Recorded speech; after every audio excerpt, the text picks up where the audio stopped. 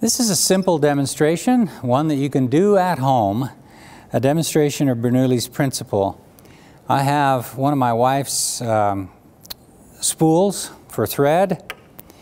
I have a pin and it's stuck through a piece of just construction paper. All there is to it. You can amaze your friends and neighbors with this one. Um, hollow out the spool, put the pin through the spool, and the, the part that's not so really amazing is if you suck up through this hole,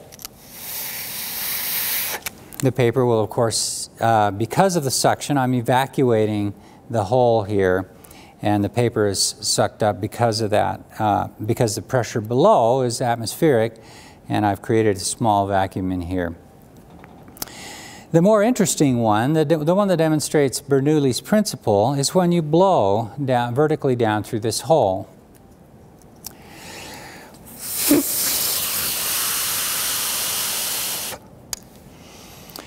So it seems unexpected that um, you would have thought that the air coming down through that hole would blow the, um, the piece of construction paper away from the spool. But it's not what happens. What happens instead, if this is the spool and this is the piece of paper, the airflow goes down through that center hole, uh, hits the piece of paper and exits uh, e to either side. Well, it exits radially in all directions, so it's coming down through here and going out in all directions. Because the, the velocity is high,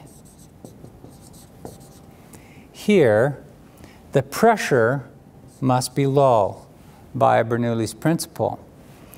So you have a low pressure up in this region between the paper and the bottom of the spool, but you have high pressure, well, or normal pressure, atmospheric pressure